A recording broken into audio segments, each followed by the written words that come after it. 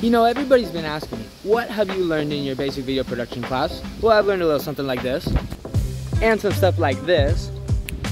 They're called in-camera transitions, which has gotta be my favorite part of the course. I made a video about my water bottle, roll the clip.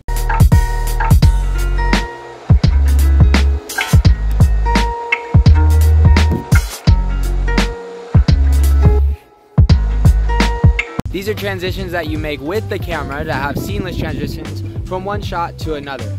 Another thing that I liked in this class was when we learned about handheld shooting, where you use three points of contact, and in this case I used my head and my two hands in order to make a smoother shot. The third thing that I learned in the basic video production class was when we talked about artificial lighting. It's not always super light outside, so sometimes you've got to use lights of your own thoroughly enjoyed the video production class and I would highly recommend.